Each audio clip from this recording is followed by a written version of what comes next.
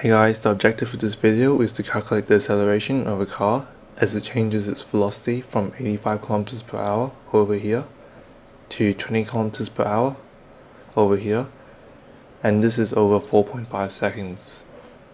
So the formula you need to know to calculate acceleration is a equals to the final velocity minus the initial velocity all over the time.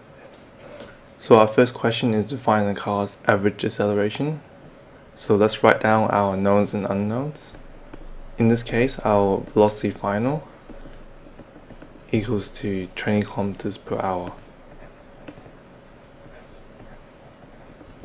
So the VF, the velocity final, is where the car ends up, and the velocity initial is where our car begins, so 85 kilometers per hour.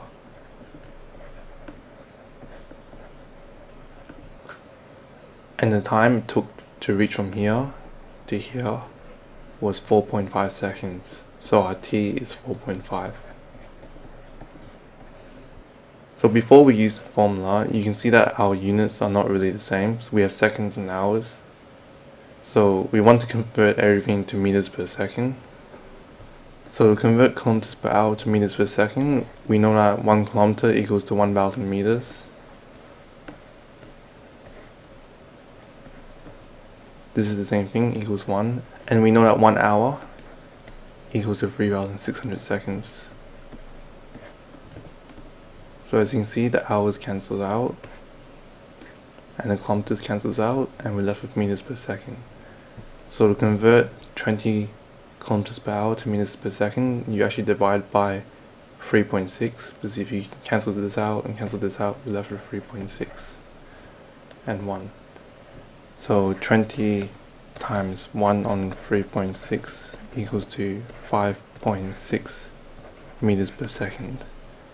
And we do the same thing for V initial.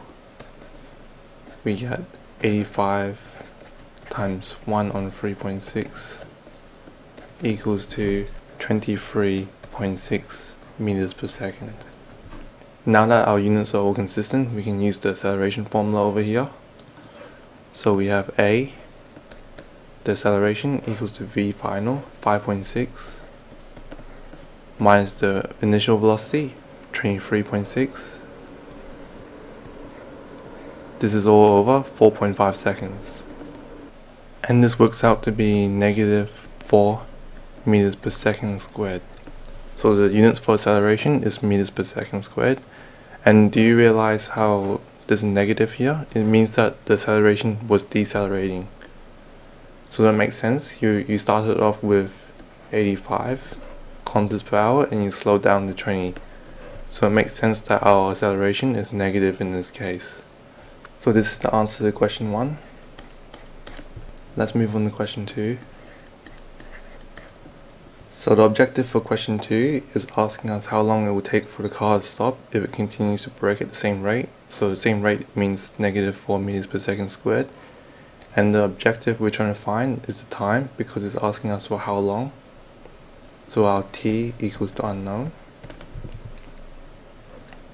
Our a is negative 4 meters per second squared.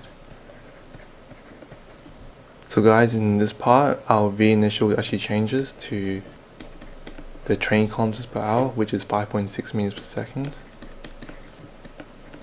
Because we're trying to work out the time it takes from here to complete stop over here, where v equals to 0. So our v final, when the car stops, is 0 meters per second.